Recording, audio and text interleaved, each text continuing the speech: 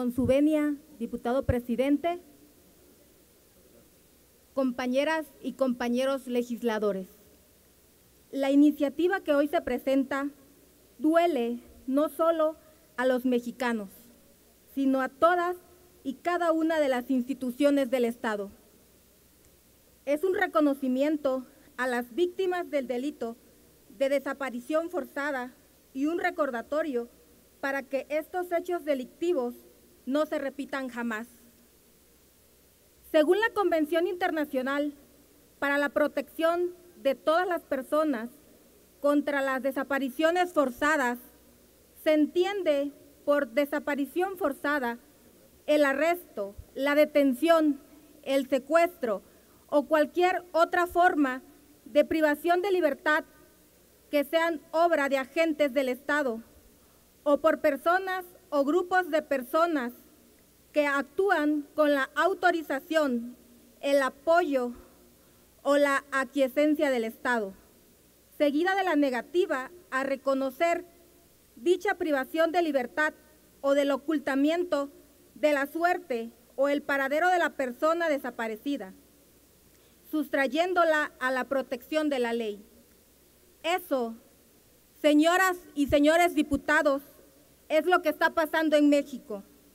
Y nosotros legisladores debemos de hacer lo que esté a nuestro alcance para legislar en su prevención y sanción, pero sobre todo para reconocer a las víctimas que lo han padecido y que en al menos en 43 casos lo están padeciendo. El 26 de septiembre del año 2014, 43 estudiantes de la Escuela Normal Rural de Ayotzinapa desaparecieron en ataques a tiros de la policía de Iguala y el grupo criminal Guerreros Unidos. Hoy nada se sabe de ellos. Se sabe por las investigaciones realizadas por las Procuradurías de Guerrero y General de la República que el alcalde de Iguala, José Luis Abarca, y su esposa, María de los Ángeles Pineda, fueron los autores intelectuales de la represión a los estudiantes. Afortunadamente, para algunos, Abarca y demás implicados en la desaparición de los normalistas están en prisión.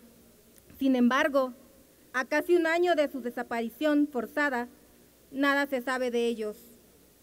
El clamor ha tenido diferentes tonos, desde la violencia, la indignación y la desesperación, donde 25 mil personas, en su mayoría vestidas de blanco, marcharon por la capital mexicana para exigir que los alumnos aparezcan con vida. El 7 de noviembre de, 2014, el ex procurador general de la República, Jesús Murillo Caram, afirmaba como verdad legal e histórica el homicidio de 43 normalistas de la rural de Ayotzinapa, aduciendo que fueron asesinados y posteriormente quemados en el basurero de Cocula, Guerrero. El reporte de la Procuraduría General de la República sobre el caso Ayotzinapa, después del fallido intento de encontrar ADN mitocondrial del basurero de Cocula, de fecha 27 de enero de 2015, señaló que los 43 estudiantes se encontraban oficialmente muertos.